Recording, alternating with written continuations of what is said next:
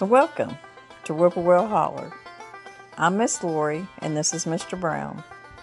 We live in the hills of Arkansas. We love the Lord.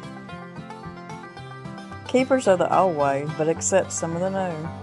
We love to cook, and we love to eat. We love to garden.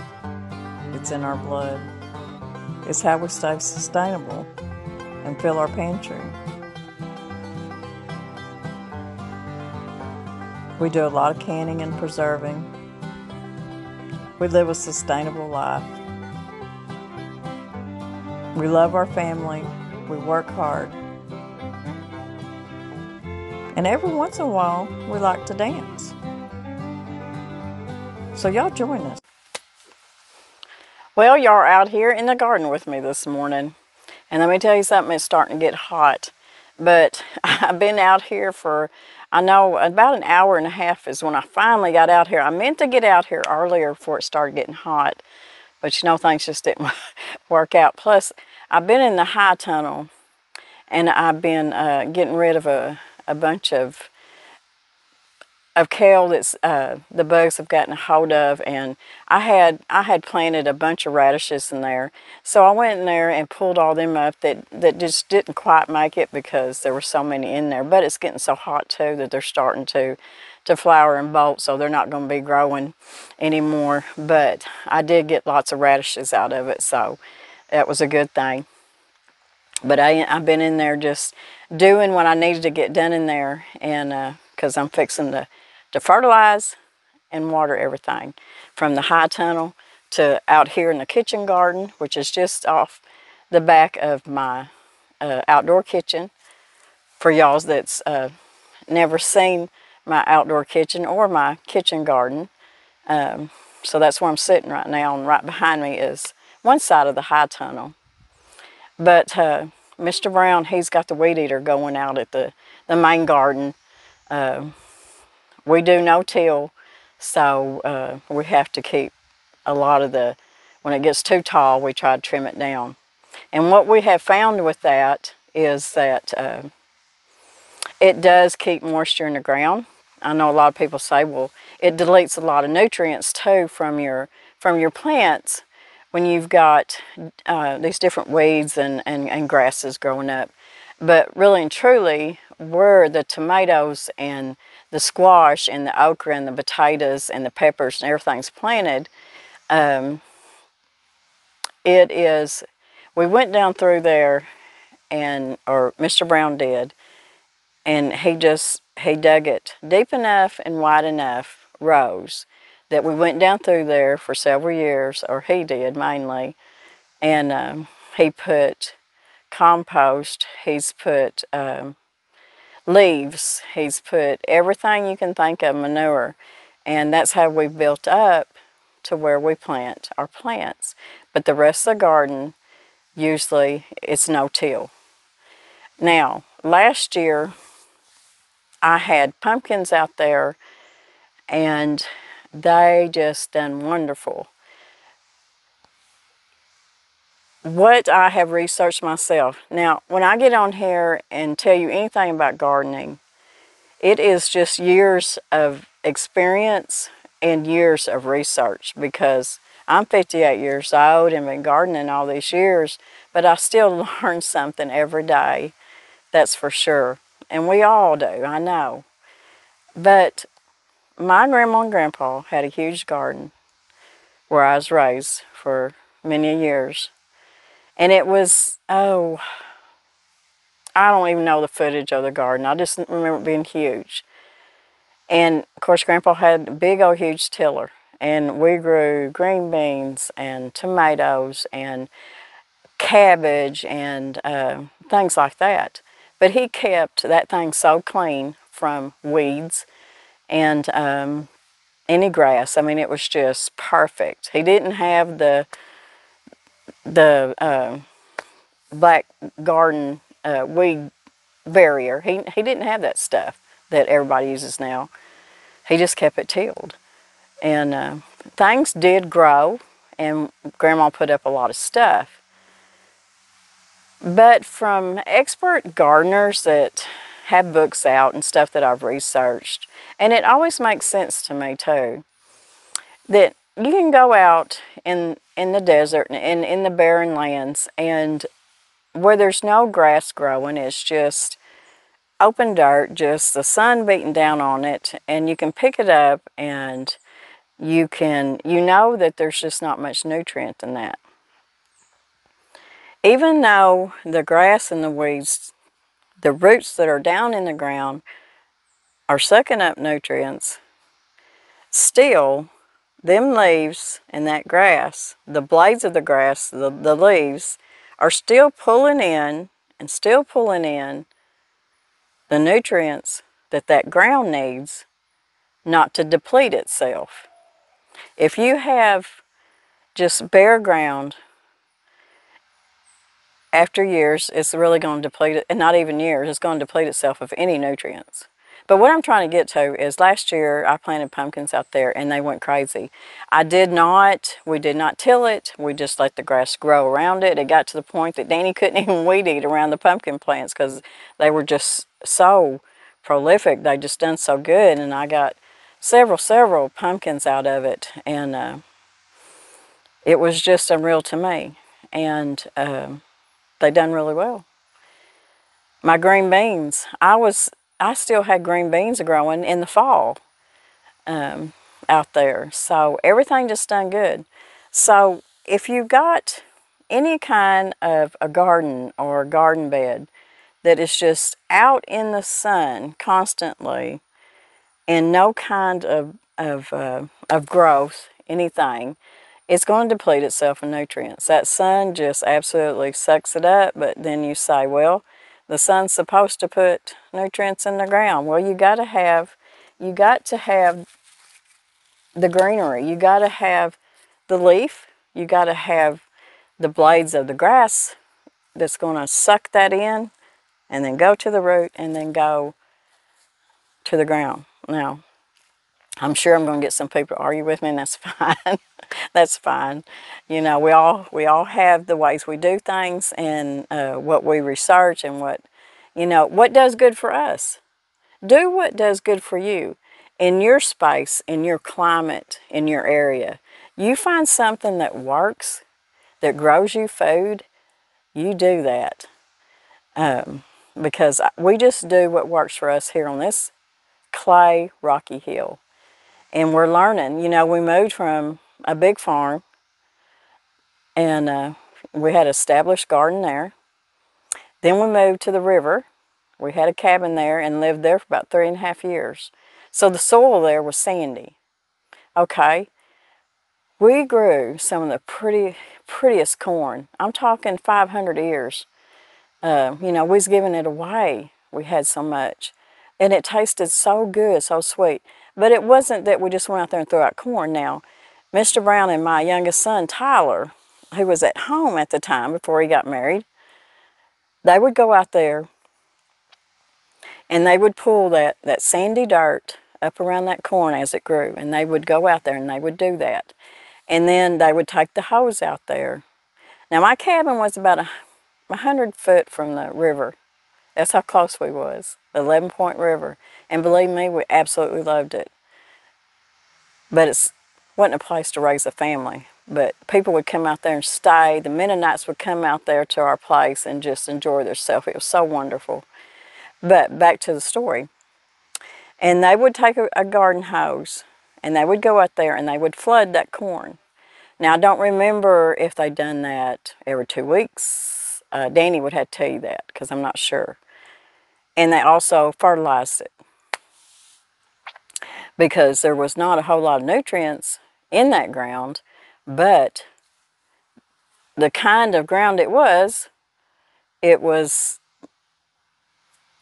good enough for corn to really thrive in.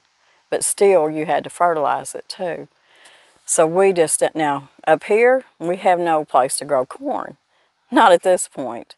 So, but we do have places that we can get it when it does come off. But uh, that's just what I'm saying. Whatever works for you at your place, at your homestead, at your little urban city garden, You do what works for you because, you know, all ground, all, all places, all climates are so different.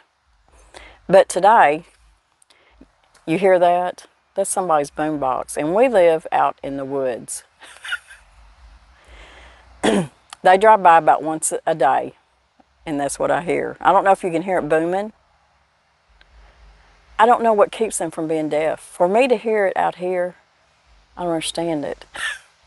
but anyways, they'll know when they get our age and they can't hear much anymore. They'll wish they didn't do that. Um, but today, we got to get all this done. What we're going to be doing today is fertilizing. We've had quite a bit of rain. Oh, we had a lot of rain and then it just stopped. So it's been about a week since we've had any, but when you get that much rain and rain and rain and it floods and rain and rain, it kind of depletes your uh, your nutrients too. So you need to fertilize. now I got an airplane going over. you just thought it was quiet out here in the middle of the woods. Um, my green beans are doing good and they're fixing to bloom, but they're needing um, fertilized. So what we're going to do, uh, people that's asked me, I use fish emulsion to fertilize with.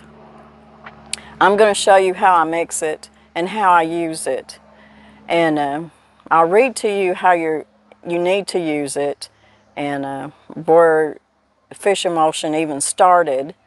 And uh, I'm also going to have another video making my own fish emulsion because it has went up um, I think four or five dollars since last year.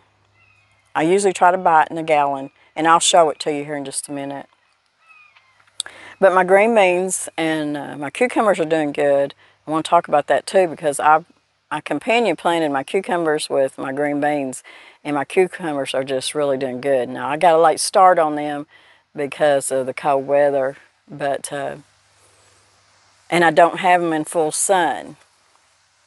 So see, it's things that you learn through the years because they'll tell you, you know, such and such needs full sun to do any good. But what I've found out on this hill, if I put my cucumbers in full sun, the plants just struggle so much. So I've got, I'm going to say they get about four hours of uh, sun, but not direct sun, and they are looking really good. But where you live could be different. I live in the hills of Arkansas, northeast Arkansas. Uh, my zone is 7B, I believe. So it's just different here. It's even different if we have a frost. We are about 600, I think our, yeah, I think it's 600 feet above um, sea level is what we are here and that's that's pretty good for here in my area. Anywhere else, that's probably not much, but here in my area it is. So anyways, let's get started with fertilizing. And I'm going to show you a lot of people want to know about the fish emulsion and how I mix it and how I use it. And uh, it's going to take a while because we'll be fertilizing everything from the kitchen garden to the front garden which is mostly uh, flowers and roses and stuff like that. Uh, inside the high tunnel, I'll be fertilizing everything in there. And uh, then the big garden where he's at weed eating right now. His potatoes are looking really good, you'll see that. So let's get started mixing and talking about the fish emulsion. And the sun's changing I was in the shade for a while. But anyways, let's get started mixing our fertilizer. Okay, I'm trying to find some shade, y'all. I'm going to read a little bit about fish emulsion. Because I didn't know about fish emulsion all my life either. This is something I come into new uh, because all, you know, we grew up with was uh, chicken manure and cow manure and rabbit manure because we raised tame rabbits to eat and sell. And uh, so that was just our fertilizer, and it's good stuff too. Uh, I find that fish emulsion is It is so good on green beans, but the main thing is fish emulsion is so good for the getting your your leaves, the foliage on your plants are so it just makes them so green and uh, it seems to help with things to bloom maybe not faster but better and uh, I've just always had really good luck with it. Uh, I never, I've got little bugs flying around me. I never had um, any trouble. I've never burnt anything up using fish emulsion. And I'll show you how you can mix it up and put it in a spray bottle too. That way you can spray the, you know, at certain time of day, you can spray the foliage and stuff with it too. And it just helps that, that much better. Now, the stuff don't smell good, I can tell you that and especially when you make it homemade. you know how when you make your garden teas out of uh, compost and stuff, if you've ever done that, and I'll show you how I do that for my high tunnel. Uh, after about a month, it does not smell very good at all. But anyways, I'm sitting under this cherry tree, and right back there, the other day, there's a big old black snake. So if I'm sitting here talking, and y'all see another black snake come up behind me, just holler at me, please. Let's talk about fish emulsion. It says using fish to fertilize, well, let's back up. Using fish for fertilizer isn't a new concept. Native Americans taught the settlers at Jamestown how to catch and bury fish to use as fertilizer. Organic farmers across the globe use fish emulsion in place of toxic chemical fertilizers.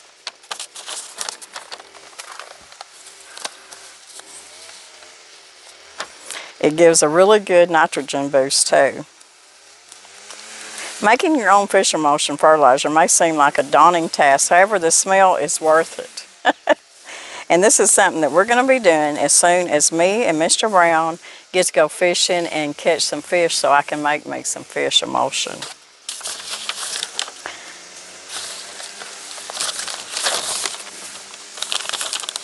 I never can remember everything. That's why I have to look at my notes. It says when to apply fish fertilizer. It is used as an all-purpose fertilizer and pr promotes lush growth.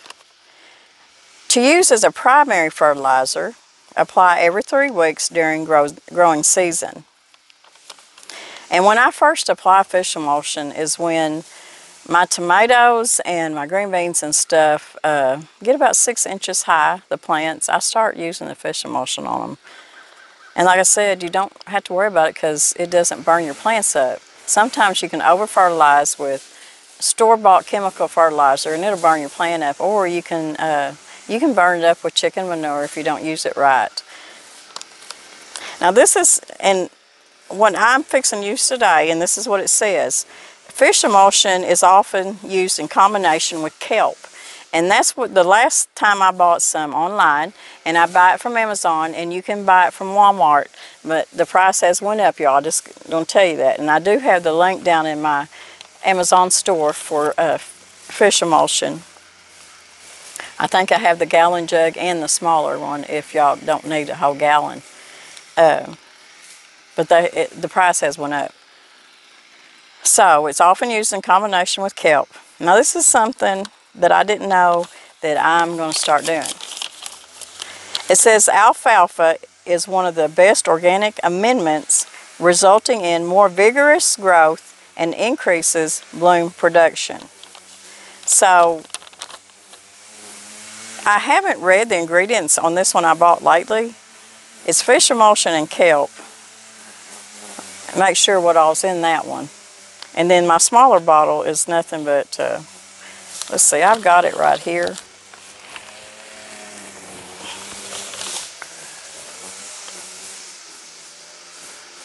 Boy, it does not smell good.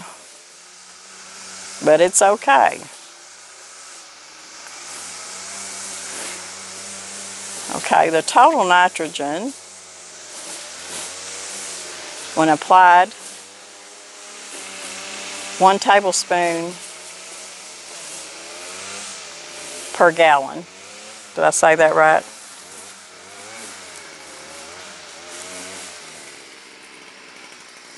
Yes, it's one tablespoon of fish emulsion to one gallon of water, and I knew that.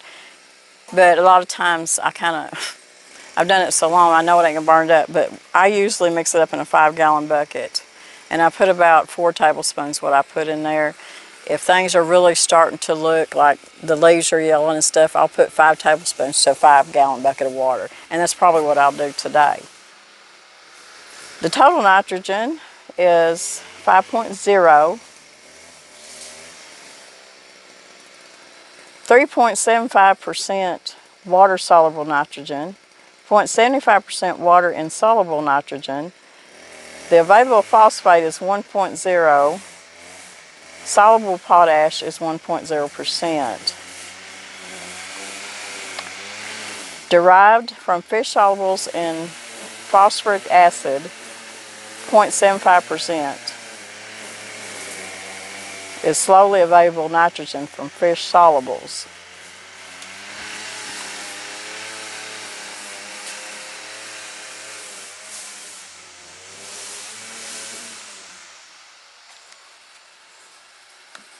And this is great for indoor plants too. If you want to just mix up a quart, it's one teaspoon. Two teaspoons for your plants outside and for inside, it's one teaspoon per quart.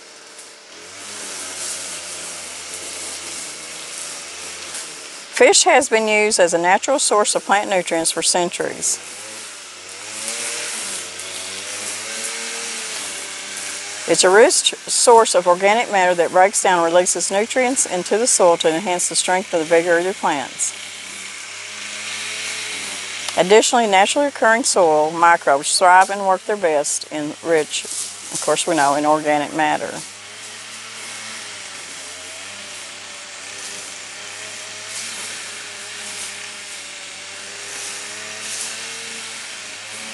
So, this is what your your bottle look like. Whether this is your fish fertilizer, it's Alaska. That's what I use. There's different kinds of brand names out there. This one is. Uh, you can get this in this size or gallon.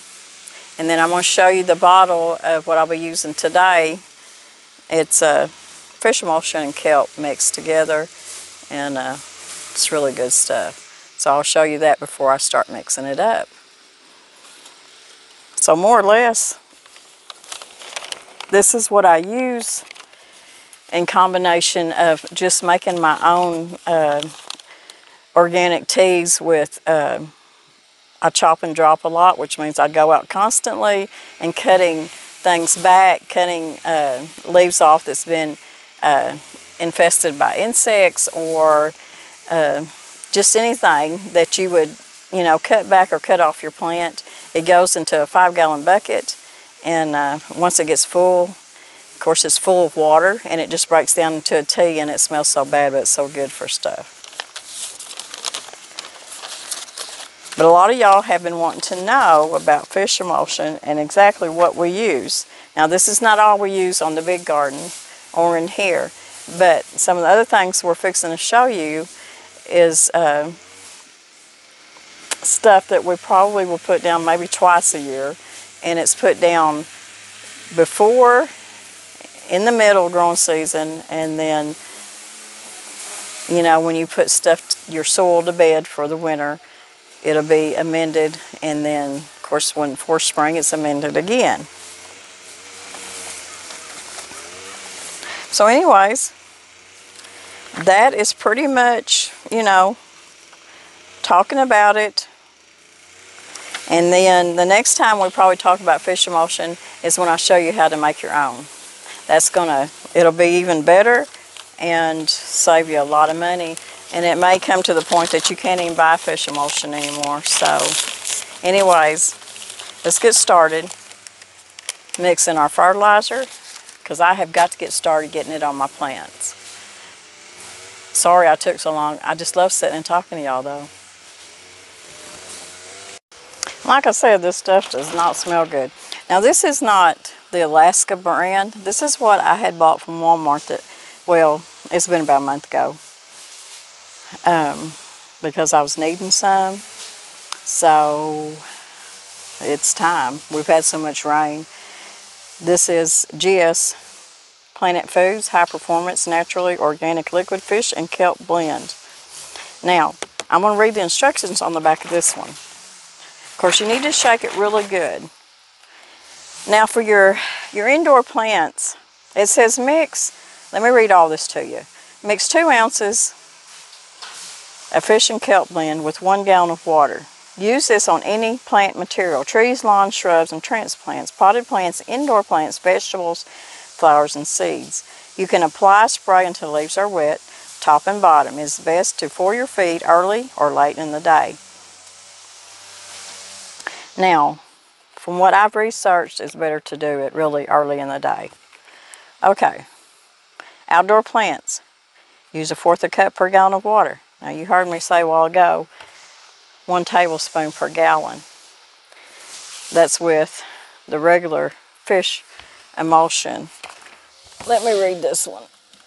That was for my indoor plants and when I was starting my plants in the greenhouse and if they got up to about six inches, they were usually outside anyways.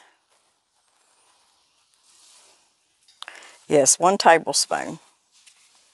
One tablespoon of fish fertilizer. This one here is different. And I, I put a fourth a cup per gallon of water to feed my everything outside. And it's because everything at this point is already growing and already, uh, you know, really established and needing some nitrogen and some good fish emulsion and kelp. But whenever you buy this, read the directions on back. Do that. So a fourth a cup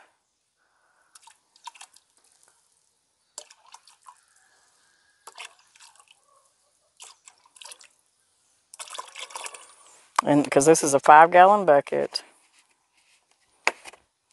I put a whole cup and a fourth. I know how I mix it. I just don't want you. I want to read it to you though. So usually I would probably just put a cup, but that's about a cup and a fourth to five gallons of water. And you see the color it turns. At this point, you can't really smell it, but when you go to putting it on your plants and, and watering everything and fertilizing, as you walk by your, your garden or your bed, you're going to smell it. But the smell will be gone by the next day or so. So we're going to get busy fertilizing. I'll show you how we do that. Mr. Brown finally got done weed eating? No. No? I didn't realize you was filming. I wouldn't have been weed eating too close. it, didn't matter. The rooster's crowing. Earlier there was an airplane went over, then the boom box come by. So they, they've heard it all. Heard all we hear around here, huh? Even though we live out in the middle of the woods. It's getting warm. It's getting warm. Warm. Warm. warm. So we got to get stuff fertilized. I understand.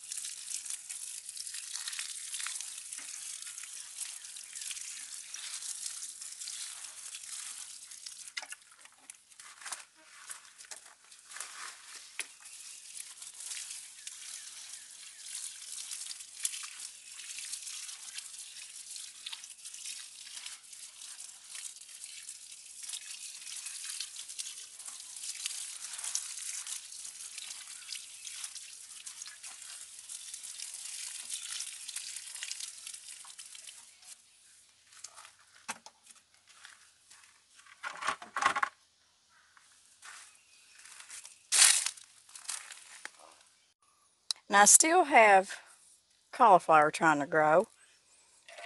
So I'm just going to take and go around the bottom of the base and just give it a good soaking. Now I won't let this cauliflower stay out here in this heat too much longer. Now this part of my garden, it doesn't, uh, it don't even get six hours of sun. And there's a cauliflower back here too. And there's one or two up there. And I'll do the same thing with them. I've got a few green beans that I just planted here at the end. I'll fertilize them. I've got a cabbage plant in there. I've got some broccoli plants I'm fixing to pull because they're done. But I am going to go ahead and fertilize the rest of my cauliflower that's coming on. And then these beans. And then I'll move on to the rest. I have several cabbage plants that I've got planted in uh, what used to be cattle mineral. I'm just going to give it a good drink too. My cabbage is kind of late coming off this year.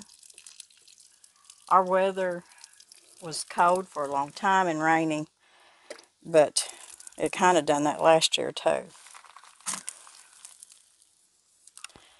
We're going to go over here to the sweet potato bed that's not, it's just now starting to really grow. Y'all remember me planting this. But like I said, it's just now really starting to warm up. But they are starting to take off and grow now. And really and truly, these sweet potatoes have got a long growing period too. So it's not that big a deal that they're just not overtaking the bed yet because I won't even dig these up till fall. But even though it had really good amended soil in it, I'm going to go ahead and it's it's been a good three weeks since I fertilized them. So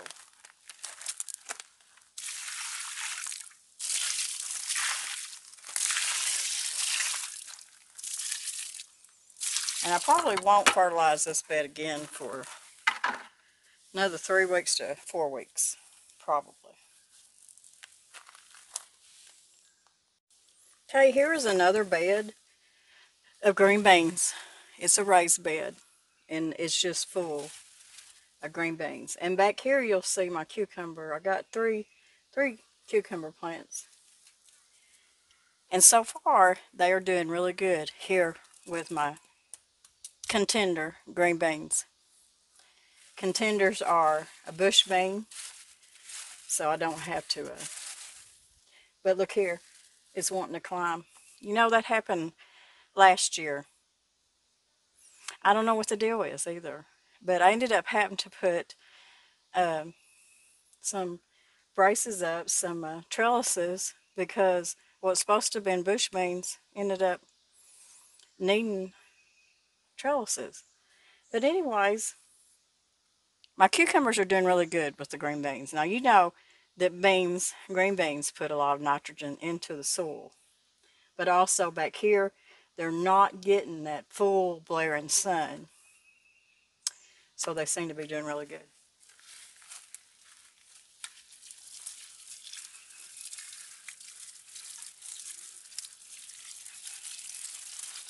So we are giving this bed of green beans that are starting to bloom some good fertilizer.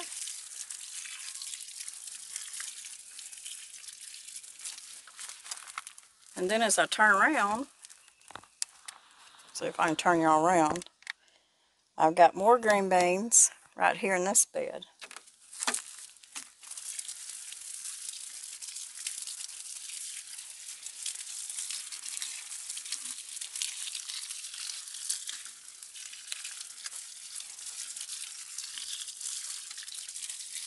Now, if you see anything that has what looks like flour on anything, it's uh, DE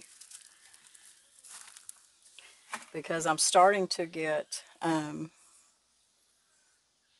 stink bugs and squash bugs and everything. So DE does help. It doesn't cure it, but it does help.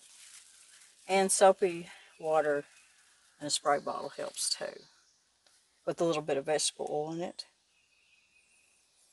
So we got the green beans fertilized that were out here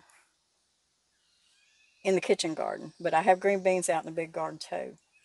We will wait till wait till later this afternoon probably to work with all that because the sun's really starting to come out and uh, blare down on stuff. Okay, we're walking up here to a sawdust pile with dogs barking in the background.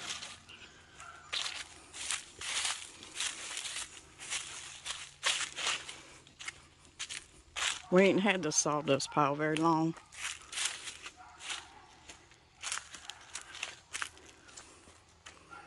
We're gonna get a wheelbarrow full, put it around tomatoes and squash and stuff. Mr. Brown can kind of tell you about this pile of sawdust. You see how black a lot of it is? See how dark it is? A lot of it's broke down. This particular sawdust pile comes from a pallet mill. And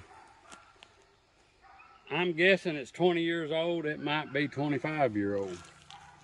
This is some of the first. When they first started blowing it, they, it it's a huge pile. My brother got access to it. He's got a backhoe and we bought a couple of loads. and he hauled some to one guy and he just took and threw some seed in it and it started growing. It's uh it feels like dirt. It ain't yet, but it it's um, it's broke down pretty good. You got to be real careful. You can't put sawdust that's very green on a plant. It'll burn it up. It's got too much acid in it, wood acid. Uh, my brother has put some of this all over his garden already. We're going to put some out here. I like how pretty it is. I mean, that's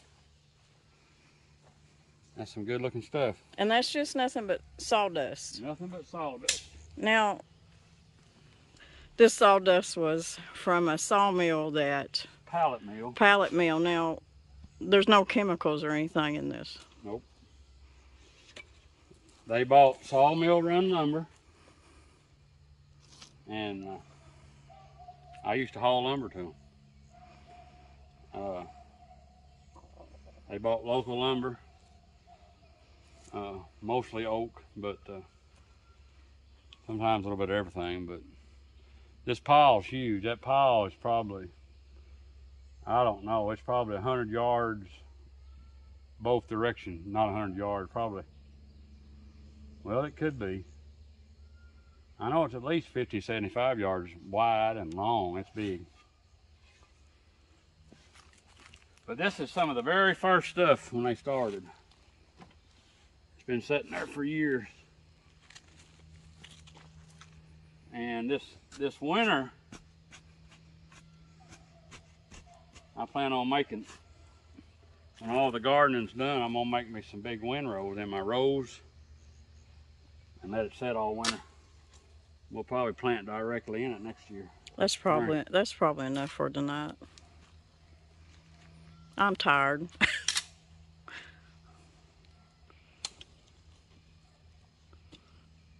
Looks like pretty stuff though. I think it'll work.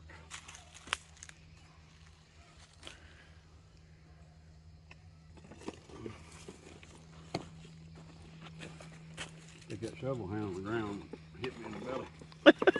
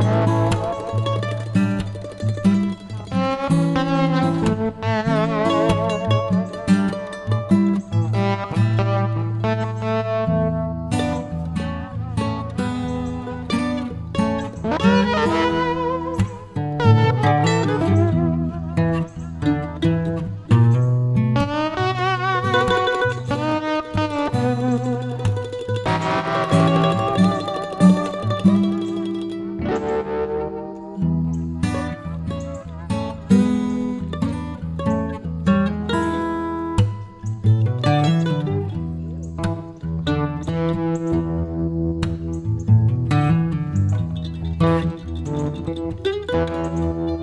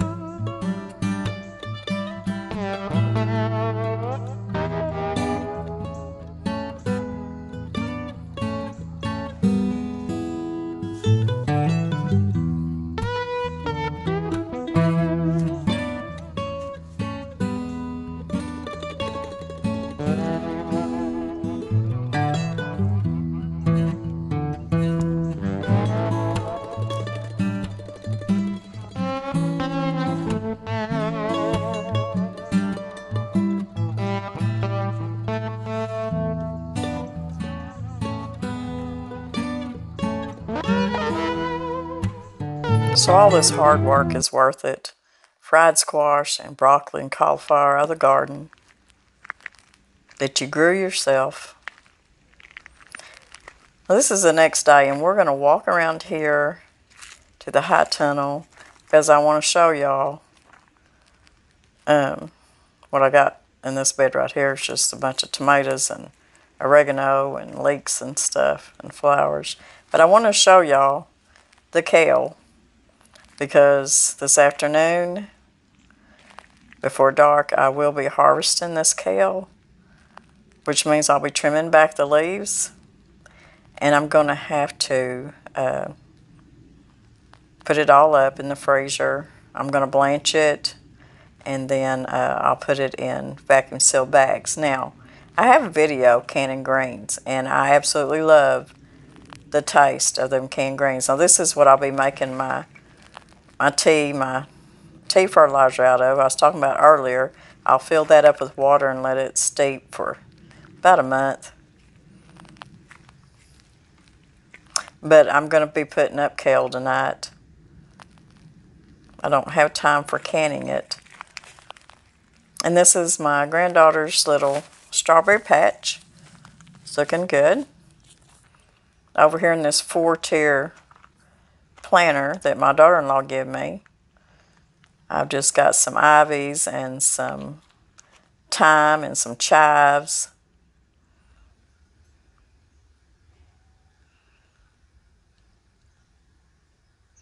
That mailbox back there, you see it, it holds my uh, garden tools. And that is my sweet pea tower. And over here you can see this time of day is when that spot gets full sun. But I tell you, this is just one of my favorite things when I'm out in the garden working is to come over here to my my pea tower and every once in a while just pick a pick one and snack on it. So fresh, so sweet. It's just the beauty of what the good Lord gives us. A sweet little pod full of sweet little peas, green peas. I hope y'all enjoyed this video. We'll be seeing y'all in a couple of days. I've got some zucchini and squash back here. I was just going to show y'all. But I got something going on this week, and I'll be letting y'all in on it. And there'll be a video on that. So y'all look forward to that. God bless everybody.